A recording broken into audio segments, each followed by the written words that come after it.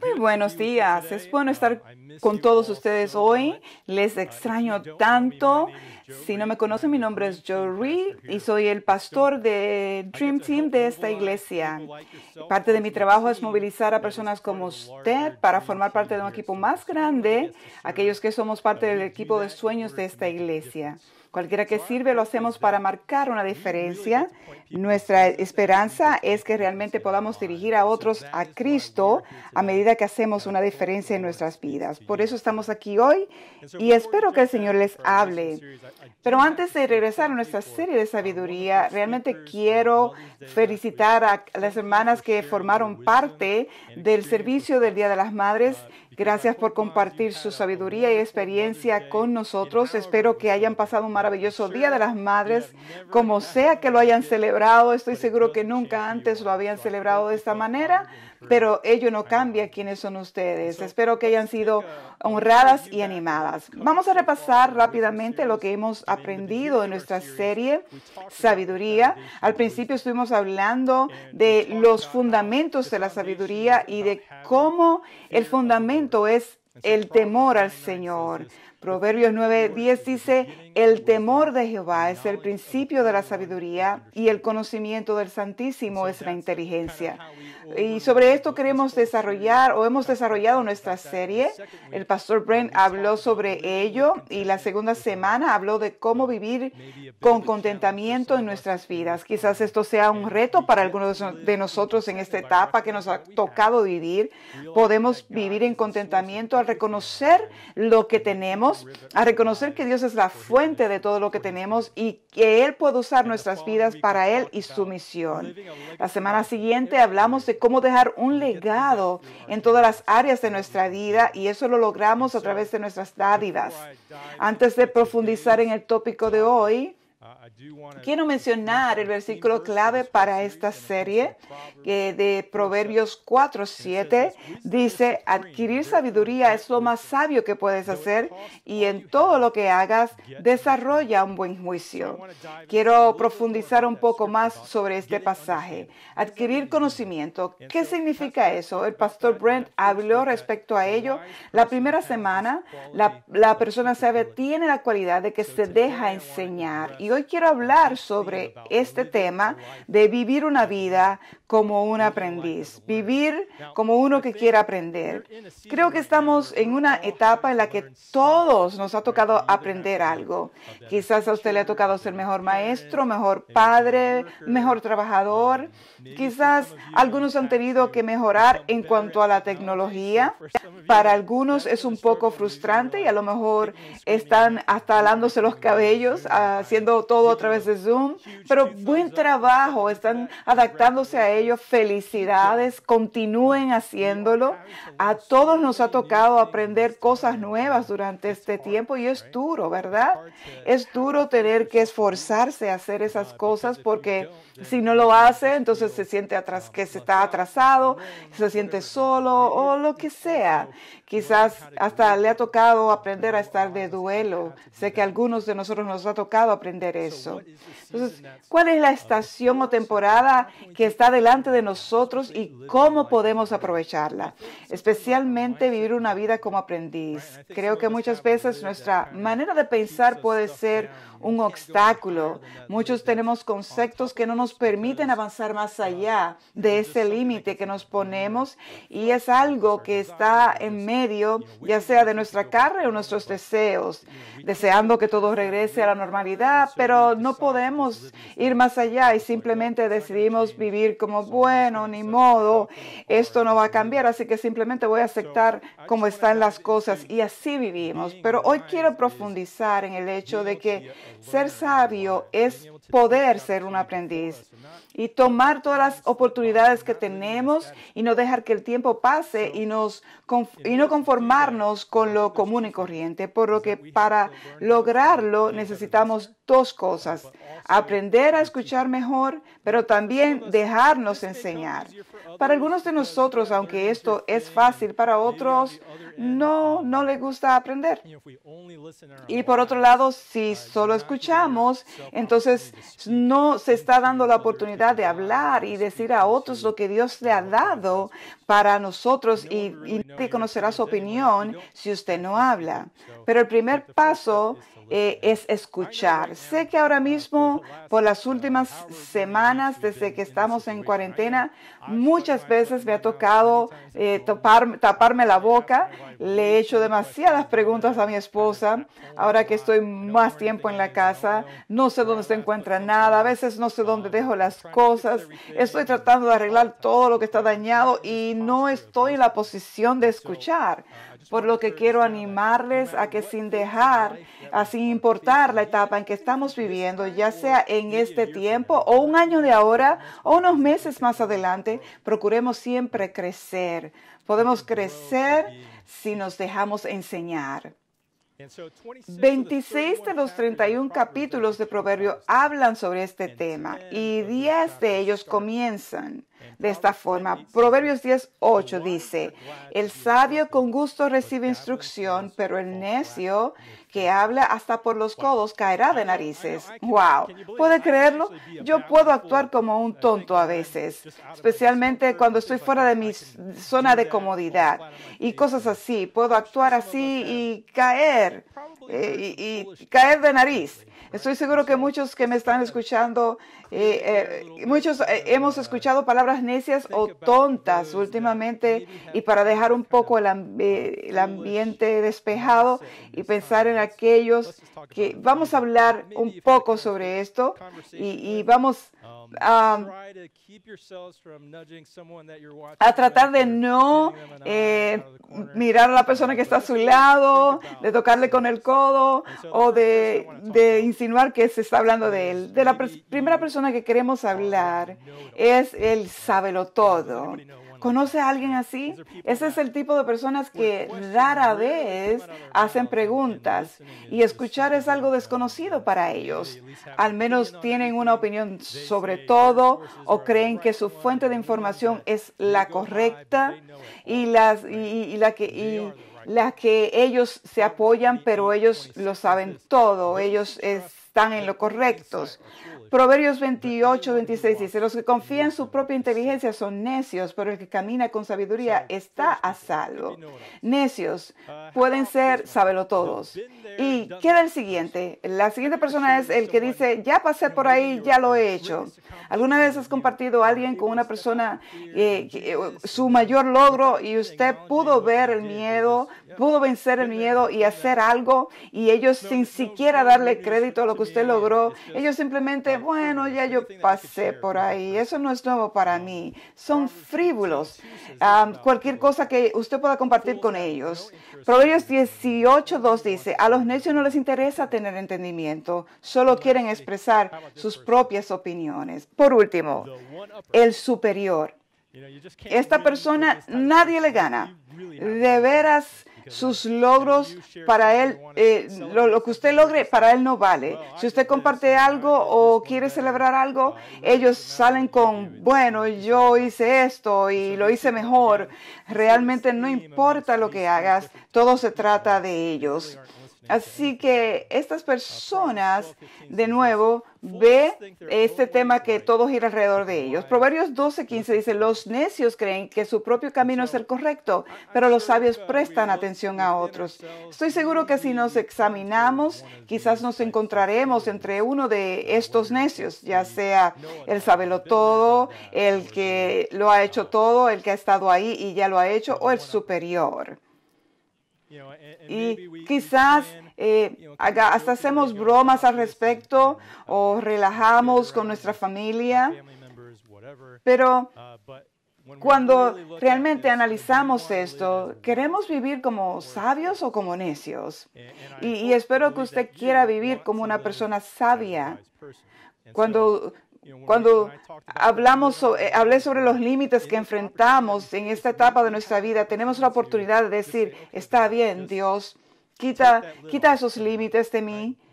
Creer que vivir aprendiendo y escuchando es lo que se requiere para vencer esos límites, cree que un mundo de posibilidades que se puede abrir cuando hacemos esto, porque Dios quiere quitar esos obstáculos de nuestra vida. Él quiere que alcancemos el potencial completo que Él preparó de antemano para nosotros hacer y podemos avanzar hacia ello. No tenemos que vivir en el statu quo. Así que si podemos tener la postura de escuchar, podremos ver la voluntad de Dios. Y si podemos hacer eso, sabemos que nunca fallaremos. Si más bien podemos avanzar hacia ello, podemos hacer lo que Dios tenga para nosotros. Quiero hablar de entonces cómo podemos desarrollar el ser aprendices. Y no es simplemente un estado mental del cual hablé anteriormente, llamémosle más bien un estado eh, del corazón. Sabemos que todo lo que hay en el corazón habla la boca. El ser transformado por medio de la renovación de la mente es mirar a nuestro corazón, pedir a Dios que nos transforme el corazón para que nuestra mente sea renovada. Por lo que necesitamos desarrollar un corazón que escucha. Proverbios 1.5 dice que el sabio escuche estos proverbios y se haga aún más sabio. Que los que tienen entendimiento reciban dirección. Así que asuma la postura de poder escuchar y realmente poder postrar su corazón a escuchar. Voy a hablar de unas cuantas características que son parte del corazón que escucha. La primera es, el corazón que escucha es humilde. Proverbios 11.2 dice, el orgullo lleva a la deshonra, pero la humildad viene la sabiduría. Con la humildad viene la sabiduría. Ahora bien, conocemos estas dos palabras, humildad e, y también humillación. Están muy cerca la una de la otra, pero dése cuenta que la humildad es una opción que podemos tomar y la humillación es algo que nos ocurre. Podemos elegir ser humildes, podemos elegir el considerar a otros mejores que nosotros, no pensar que lo sabemos todo, podemos hacerlo mejor o podemos decir que somos mejores que otros. Podemos elegir el ser humildes, poniendo las necesidades de los demás por encima de las nuestras. Y ese es el primer paso para tener un corazón que escucha. El poder verdaderamente escuchar es tener esa característica de ser humilde. Lo segundo es que un corazón que escucha tiene el deseo de crecer. Proverbios 27, 17 dice, como el hierro se afila con hierro, así un amigo se afila con su amigo. Si usted puede visualizar ese versículo en su mente y simplemente saber que si un hierro afila al hierro, no puede ser un proceso placentero. Hay calor, hay presión, hay un montón de cosas volando y honestamente cuando usted está en, en relación donde alguien te confronta, es ahí donde usted, el crecimiento ocurre. Quizás no siempre se sienta agradable, pero necesitamos eso en nuestra vida. No necesitamos, nos necesitamos unos a otros para pulirnos y eso ocurre en comunidad. Al principio de este año hablé sobre las relaciones y cómo muchas veces ponemos máscaras y cuando estamos con la gente decimos, estamos bien, ¿cómo estás? Estoy bien. Y no estamos dispuestos a revelar que está detrás de esa máscara. Y ahora ponerse máscaras eh, toma un contexto diferente en el momento que estamos viviendo, pero de todas maneras es muy importante. Así que fuera de broma, necesitamos estar en relación con otras personas, estar en comunidad donde podemos pulirnos unos a otros para que podamos crecer. Así que si usted todavía no está conectado con un grupo, les recomiendo que se conecte con alguien. Usted puede entrar a nuestra página web para ver todos los grupos que tenemos que se están reuniendo virtualmente ahora mismo. De hecho, he escuchado tantas historias donde la gente se siente cohibida porque no quieren profundizar mucho en la relación con otros, se sienten inseguros y muchas otras cosas. Y luego de un tiempo escucho a esas mismas personas decir, gracias por haber hecho este grupo en la página web. No me había dado cuenta de lo fácil que es. Ha sido una gran bendición a mi vida. Tenemos tantas maneras de hacer esto porque queremos promover el crecimiento en la vida de usted y poder proveer una comunidad de creyentes para usted, por lo que altamente lo recomiendo. La, la tercera característica de un corazón que escucha es la siguiente. Es uno que acepta la corrección. Proverbios 12.1 dice, para aprender hay que amar la disciplina. Es tonto o estúpido despreciar la corrección. Y esto no es fácil. A nadie le gusta. Familia, por favor, si están escuchando y estoy usando la palabra estúpido de acuerdo a las escrituras, pido disculpas por sus hijos que están viendo, pero estúpido es algo que Dios está usando en este pasaje porque si a usted no le gusta la corrección, no le gusta la disciplina, Él cuenta eso como estupidez, porque usted debe amar la disciplina. Yo, por ejemplo, sé que a mis hijos, para mis hijos esto es algo difícil, porque tratamos de decirles que cuando los estamos corrigiendo, no le estamos diciendo que ya no le amamos. No te estamos rechazando ni ninguna de esas cosas, sino que realmente te amamos. Uno de mis hijos, cada vez que decimos algo como tomaste una mala decisión, lo que pasa con él, y creo que esto ocurre con todos nosotros cuando la corrección llega a nuestras vidas, es que nos escondemos avergonzados. Y muchas veces cuando estoy corrigiendo a uno de mis hijos, se apena tanto que ni siquiera puedo mirarle a los ojos. Eh, no es porque él esté en problemas, si quiero simplemente corregirlo, pero es tan difícil cuando la vergüenza o la pena cubre a la persona, porque el enemigo no quiere que recibamos esa corrección en nuestra vida, por lo que echamos a correr. Y la vergüenza, la pena nos cubre y no recibimos esa disciplina que posiblemente Dios quiere mostrarnos en ese momento. Por lo que debemos amar la disciplina.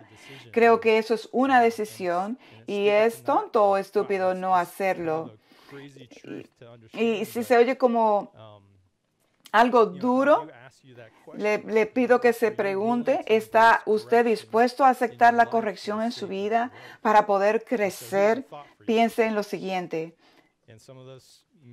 Y quizás algunos nos sintamos de esta forma, pero eh, el, Levantar el ánimo se siente bueno, se siente bien, pero la corrección produce crecimiento. El levantar el ánimo se siente bien, pero la corrección produce crecimiento. ¿Cuántos se sienten que están en un periodo de crecimiento ahora? Esto nos da oportunidad. A lo mejor usted tendrá más tiempo para algunas cosas y menos para para otras cosas, pero debe aprender algo durante este periodo de tiempo. No es siempre agradable, pero sé que al usted rendirse a aquellas cosas que Dios tiene preparadas para usted, Él desea darle crecimiento. No creo que Dios quiera maltratarnos en este tiempo. Él realmente desea darnos crecimiento. Quizás las decisiones que tenemos frente a nosotros para escoger vivir como personas sabias, para vivir como aprendices, es primero tener un corazón que escucha, escoger la humildad en nuestra vida y reorientarnos. Queremos crecer, quizás a abrazar la corrección, no solo para nosotros como individuos, pero también como iglesia. Tenemos que reposicionar dónde invertimos nuestro tiempo y recursos. Eh, nos pueden ayudar a enfocarnos en relaciones, en comunidad y podemos ayudar. Queremos ayudar en este tiempo. Nunca habíamos visto una iglesia tan generosa como la que hemos visto en este tiempo y eso es porque Dios está haciendo algo en usted. Así que al desarrollar un corazón como este, empezamos a vivir eh, um, eh, como aprendices. Y a lo que me refiero es que, un ejemplo rápido, estoy aquí ahora en esta plataforma delante de ustedes, no porque tenga talento, eh, lo que sea que usted opine de mí, créame, no estoy parado aquí por talento. Creo que estoy aquí porque me he dejado enseñar algo que he tenido que aprender con el pasar de los años. Cuando comencé a trabajar en Stonecrest muchos, ah, em, años atrás, cuando vine por primera vez, lo único que sabía eh, hacer en cuanto a habilidad se refiere era cómo hacer las presentaciones de PowerPoint. Aquí ha sido mi temporada de aprendizaje y algo que usamos para describir los líderes de esta iglesia, usamos la palabra fat en, en inglés. Eh, Sí, es, es, chistoso porque esta palabra en inglés es gordo, lo cual no es algo negativo, sino que es más fácil para nosotros recordar. Eh, fiel eh, es una persona dispuesta y una persona que se deja enseñar. Y estas son cualidades de cualquier persona que está buscando a Dios. No importa cómo venimos a Él, es lo que Él puede hacer en nosotros. Él quiere ver que seamos fieles, que estamos disponibles y que nos dejamos enseñar. Esta ha sido mi experiencia y en varias ocasiones también mi lucha. Creo que por 12 años o más me descualifiqué a mí mismo y todavía lo sigo haciendo. Me veo como uno que no califica para hacer una cosa o la otra, pero las personas a mi alrededor continuaron hablando y ministrando verdades a mi vida, ya sea mi familia, mis amigos, mis compañeros de trabajo, Pastor Brent, Pastor Jeff y otros que han estado a mi alrededor dicen, tú tienes una palabra, debes usarla o debes animarte a hacer esto. Veo esto en ti, pero el cambio no ocurrió realmente hasta que no los escuché y los recibí. No fue el simple hecho de que todos me lo dijeran, sino que había algo que yo necesitaba hacer, tomar lo que estaba escuchando de la gente y vivir abiertamente una vida que se deja enseñar. Al pasar a la próxima sesión de una vida que se deja enseñar, ¿qué dice la Biblia, la Biblia respecto a esto? Proverbios 13, 13 al 14 dice, los que desprecian el consejo buscan problemas, los que respetan el mandato tendrán éxito. La instrucción de los sabios es como una fuente de vida, los que la aceptan evitan las trampas de la muerte. Espero que usted desee esa fuente de vida en su vida y que usted pueda rechazar todas esas cosas que le detienen de una vida así. El poder escuchar a otros, personas que son más, más sabias, personas a quienes usted respeta, en las que usted confía y puede recibir de ellas. ¿Cuáles son las cualidades, todas las cosas que un aprendiz posee en su vida para vivir una vida que se deja enseñar? Voy a profundizar en esto. Vamos a mirar al Nuevo Testamento en el, libro de Santiago y vamos lo que él tiene que decir en cuanto a la sabiduría. Y comenzamos con esto. ¿Cómo vivir la vida de un aprendiz que se deja enseñar? Y lo primero es esto. Los aprendices inician. Los aprendices inician. Ellos toman el primer paso. Algo que usted puede hacer es bien fácil como un aprendiz para iniciar, es hacer muchas preguntas. Hablé al principio sobre cómo el necio tiene su propia opinión.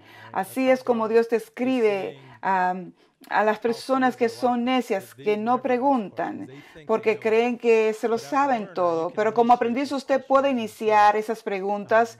Cuando usted hace eso, esto cambia donde usted se encuentra. Usted puede hacer la pregunta, por ejemplo, ¿cómo puedo mejorar?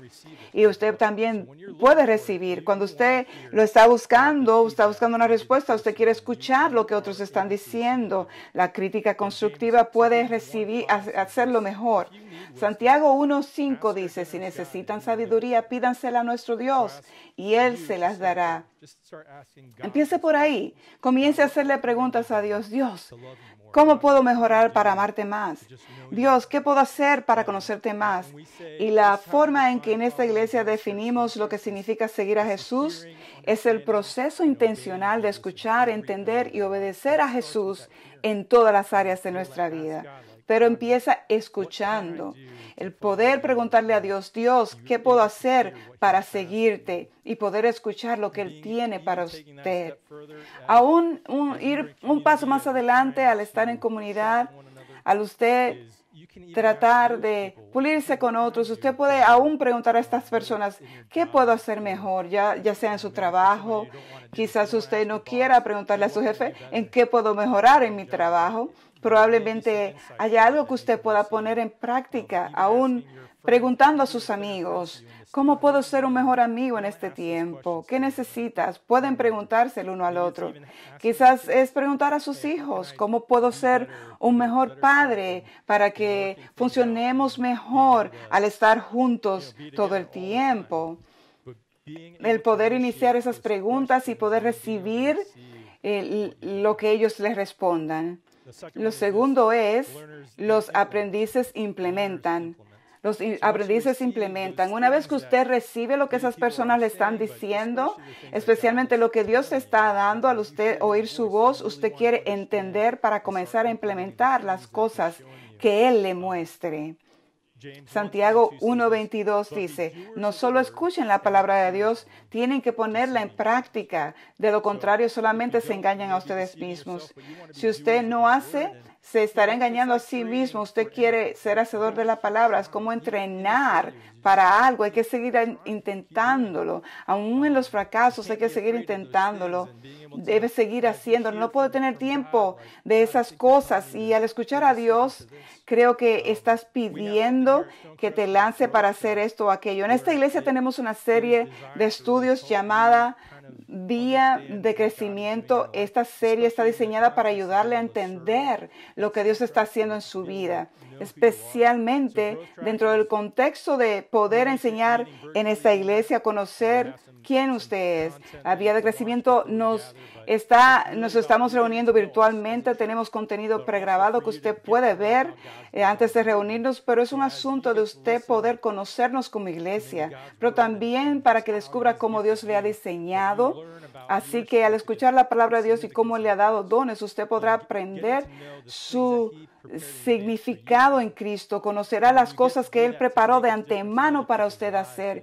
Y usted puede hacer esto para marcar una diferencia en la vida de otras personas, para que usted pueda influenciarlos hacia Cristo. Es algo impresionante. Así que si usted está envuelto en un ministerio o si ha estado sirviendo en un ministerio, este es el tiempo de lanzarse. Verdaderamente creo que sabemos que las cosas son diferentes, pero es posible que Dios tenga algo diferente para usted.